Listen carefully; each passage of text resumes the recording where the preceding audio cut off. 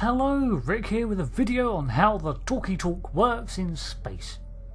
In Star Trek, the time dilation issues posed by travelling at the speed of light are averted through the inclusion of the jargoned around phenomena of subspace. Any communication signal sent through space is going to take a measurable amount of time to transmit, even when broadcasting to our nearest celestial body from Earth. The delay is 1.25 seconds, which does not seem like much, but as anyone who has taken part in a joint video call can attest, even a half second delay requires some awareness and practice to work around.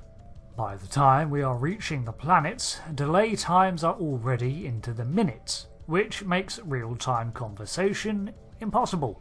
And by the time of Pluto, we're looking at around 5 hours, let alone the years it would take for a message to be received by our nearest star. But with the discovery and utilisation of subspace to produce warp fields, so too came the answers to faster than light communications. A subspace transmitter, whether shipboard, a planet, or as a relay station, consumes about 100 times the power a sublight communication would, but are able to push packets of information into subspace, where they are no longer bound by relativistic velocity. Just as a ship can travel at warp speeds in a warp bubble, the communication signals can pass through subspace to reach their destination, and at much faster intervals than a ship can travel.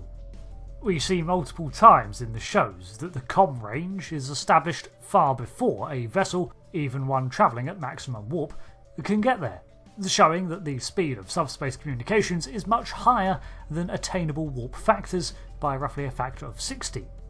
That figure is as variable as the plot needs it to be, though. But another scale suggests that subspace comms travelled at approximately warp 9.9995.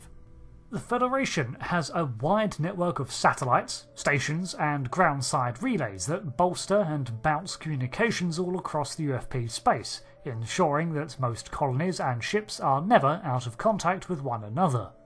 New colonies, however, might require some time to set up receivers and communication towers, and starships on the front line of unexplored space often have to deploy their own subspace boosters in their wake to relay information back to Starfleet HQ. In addition, most subspace turbulence and energies can cause all sorts of interference, as can certain radiations, and gravitational anomalies too can adversely affect the subspace carrier waves of communication in the same way that they distort warp bubbles.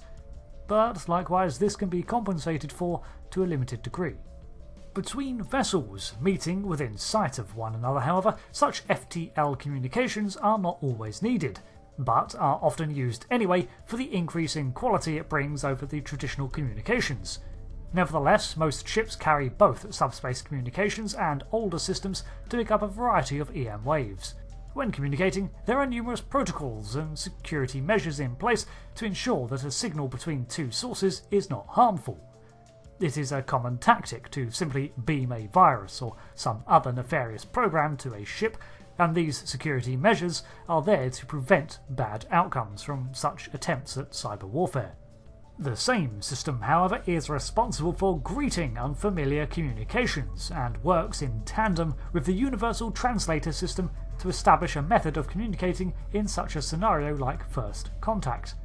This is where the strength of a ship's computer comes into play, as it can formulate and try different outcomes to try to establish communications link as technology varies between spacefaring cultures, even if they have made the same developmental breakthroughs. This is also used to explain away the Fermi paradox in Star Trek, or at least the reason why no advanced cultures were detected by Earth for so long. Subspace signals are generally undetectable by 21st century technology, so all FTL methods of communication that relied on it, basically all of them, could sail right through the Sol system without a blip on any telescope.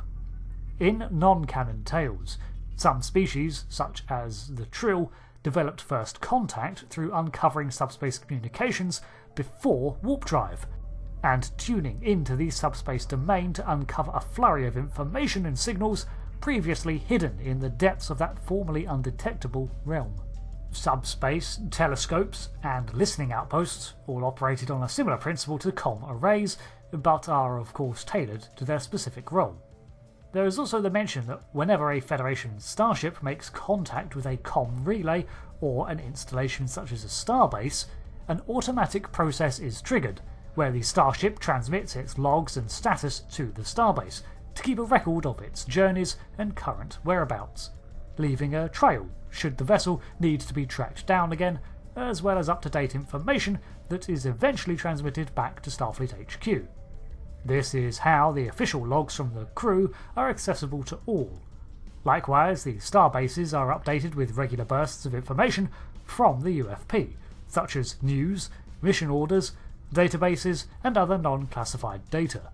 After receiving a starship's logs and updates, the starbase then transmits the latest information it has back to the vessel, ensuring that all Starfleet ships have access to the same information. Priority missions, info, and orders are of course transmitted separately and do not idle in the databases of Federation com stations. Many transmissions are encrypted and scrambled or buried so deep in subspace that you would not overhear them unless you knew where to look. It's a constant evolution of automated protocols, ciphers, and decryption that is at play to protect sensitive information. There was a brief experimentation with holographic communications in real time in the 23rd century, However, these systems were not as efficient as they would later become, and in the case of the Enterprise at least, were actually faulty enough to warrant their entire removal. Eventually, the technology was reintroduced in the late 24th century with far better clarity and more efficient methods to it. One assumes that such holographic images would also demand more bandwidth than a standard communication over view screens or audio logs. That about covers how faster than light communications work in Star Trek, at least the subspace variety. Thank you for watching this particular subspace broadcast. I've been Rick, and I'll see you next time for another lore drop, and until then, goodbye.